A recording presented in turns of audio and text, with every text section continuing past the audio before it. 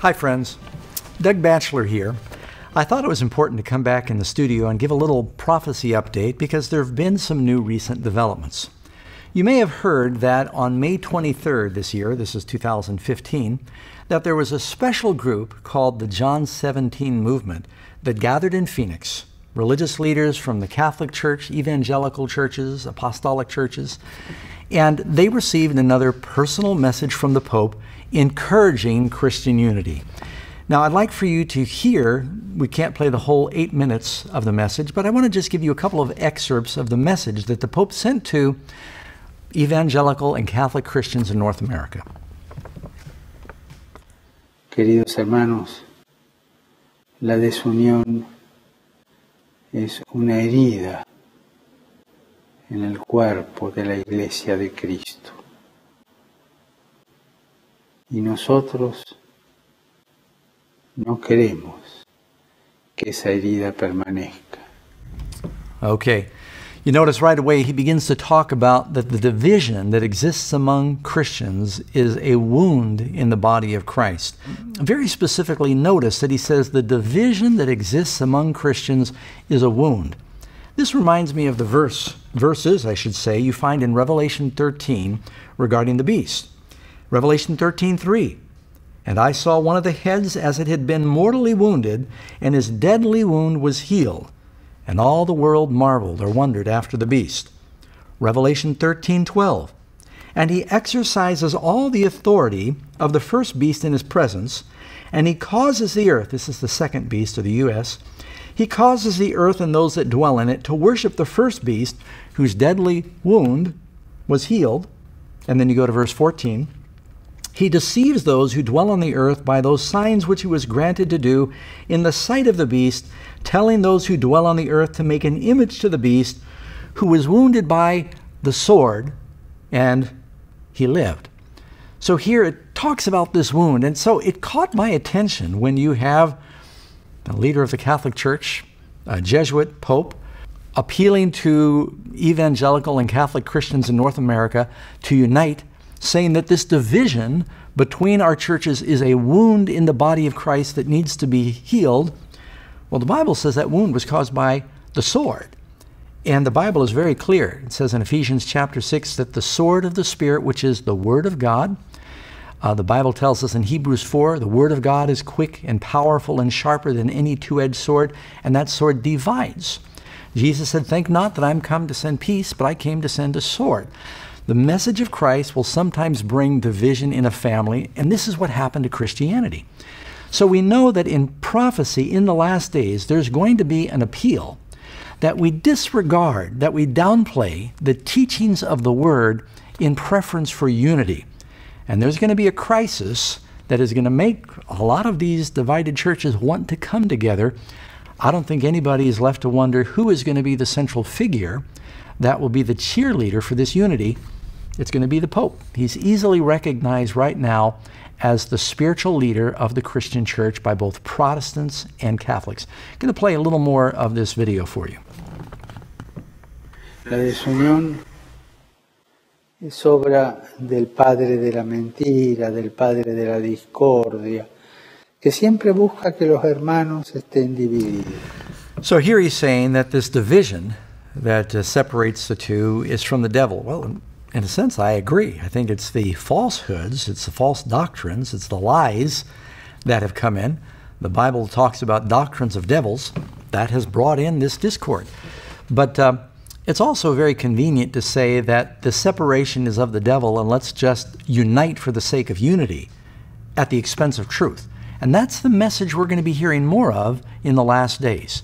It's the devil that's dividing us. And if there's a group that stands up and says, we cannot unite uh, in spite of the crises that we see in the world today, we're going to be called diabolical. Hoy reunidos, yo desde Roma y ustedes allí. Well, I want to stop that right there. For me, I'm just looking at a global picture. The Pope is sitting in his office in the Vatican, leader of the first power in Revelation 13, and he's saying, I am now addressing you over there, speaking to a group of mostly Protestant with some Catholic leaders in North America. And it just seems like a fulfillment of that prediction that there would be a reaching across the abyss between these two powers. And so he says, I here in Rome, you there in America, we need to unite. Sounds to me like echoes of prophecy. Pediremos para que el Padre envíe el Espíritu de Jesús, el Espíritu Santo, y nos dé la gracia de que todos sean uno, para que el mundo crea. So, as you listen to this, you're going to find this is the strongest appeal for unity that I've heard coming from the Vatican thus far. Y me viene a la mente decir algo que puede ser una insensatez. O quizás una herejía, no sé. I don't know about you, friends, but when I hear the Pope say in advance, I'm about to say something that might be controversial or perhaps even heretical, I usually sit up, I want to know what is the Pope going to say that even he admits might be heretical. Pero hay alguien que sabe que pese a las diferencias somos uno. Y es el que nos persigue. So here he's saying there's someone who knows we're one and he's persecuting us. It's the devil who's causing this persecution. Now the Pope is beginning to allude to Christians that are being killed simply because they're Christians, most of which is happening because of the conflict with Islam and ISIS in particular. And these things may be accelerating, probably will, in the days ahead. El que persigue hoy día a los cristianos, que nos unge con el martirio, sabe que los cristianos son discípulos de Cristo. So again, the Pope is saying here that the devil is anointing Christians with uh, martyrdom. And I think as you see terrorism increase in, in incidents of Christians being persecuted and killed and beheaded uh, by the growing and mounting uh, controversy between Islam, or at least radical Islam, and Christianity, this is going to have a polarizing influence for Christians. And the Pope is setting himself at the middle of that right now, calling Christians to unite under the banner of Catholicism to resist this persecution of Christians globally. Que son uno, que son hermanos. No le interesa si son evangélicos, ortodoxos, luteranos, católicos, apostólicos, no le interesa. Son cristianos.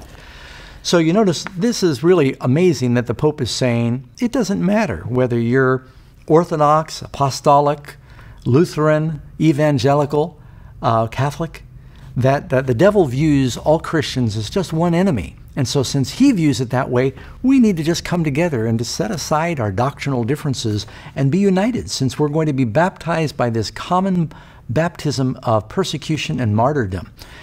This sort of paints a picture of what we can expect in the future. I think that uh, there's more in prophecy than we may have understood regarding a conflict between Christianity and Islam in the days ahead, and that this is going to have um, a, a polarizing influence on Christians. That, along with other natural or financial disasters, the world's going to be shaken, and everybody's going to run to the uh, leader of the Catholic Church as the spiritual leader. Y esa sangre se junta. Hoy estamos viviendo, queridos hermanos, el ecumenismo de la sangre. He speaks here now about an ecumenism of blood. The, the video actually goes eight minutes, and we've just taken this section. You can go look for yourself at the John 17 Movement site where they've got the entire video. But I just wanted to highlight what I thought were some very thought provoking points that are being made. And I think much of the Christian world is just missing this. It's just going by, and they don't realize the language that the Pope is using is language drawn right out of Revelation. Not only the Pope, where he's referencing the wound, but if you look in the material that's at the John 17 Movement website, They say the church, which is described as the family of God, remains divided. The attitudes and harsh judgments among professed Christians have caused deep wounds and centuries of conflict. Yeah, that was called the Protestant Reformation. And uh, it's just being suggested we should roll all of that back, forget what the doctrinal issues are that brought the separation, and just unite as one loving family. Sounds good, sounds appealing. And I know I'll probably get some criticism for taking the approach that not all unity is good. But uh, with the backdrop of what we see happening soon, the Pope is going to be making a historic visit to the United States. Here he is directly appealing for unity among Christians, Catholics, and Protestants in the U.S. He's scheduled to be meeting with the president. He's going to address the United Nations. I bet something will be said about Islam and some of these battles with uh, ISIS. Uh, he's been invited to address the joint session of Congress. And the Speaker of the House, John Boehner, could barely contain his enthusiasm when he realized His Holiness, the Pope, was going to come and address the political machine of the United States. Uh, they would not invite any other pastor to do that. So obviously, the Pope is more than just a pastor, he is a political religious dynamo in the world today. And the central reason that he was coming was to go to Philadelphia and meet with religious leaders from all denominations on the importance of the family, this special conference on the family. And I wouldn't be a bit surprised if, in the context of that meeting, they don't talk about how important it is for families to come together on Sunday to worship and to develop relationships. So, friends, you might be wondering why does Amazing Facts do these prophecy updates? Is knowing the day and the hour of the Lord going to save anybody? No. There's, there's lots of things that are happening. We can see prophecy being fulfilled all the time. We're getting very close to the Lord's coming. But what are you waiting for? Uh, are you waiting to know a little more? Are you waiting until you can time it to the very end, like filing your taxes at the last moment?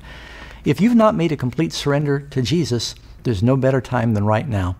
If you're waiting for that to be convenient, there's just some obstacle, and when your family life gets easier, then you're going to make a complete surrender.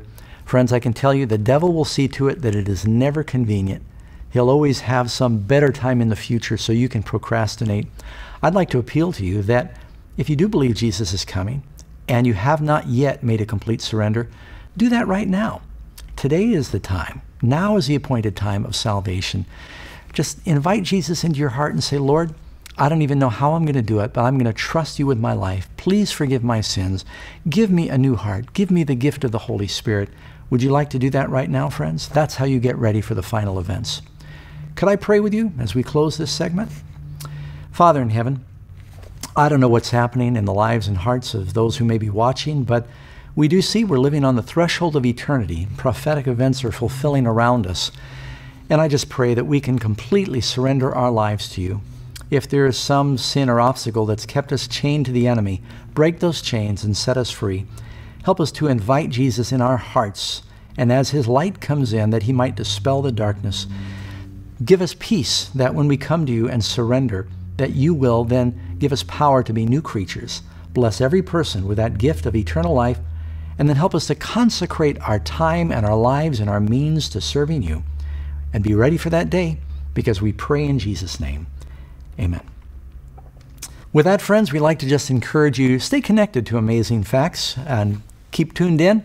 As often as necessary, we'll try and give you updates, and let's all be praying together we can work for Jesus and represent Him.